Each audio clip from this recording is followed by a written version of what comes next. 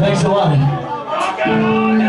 When we walk down the street, people stare because of the style of our hair. But we live for more than them and they don't care. So with our eyes, we say, beware.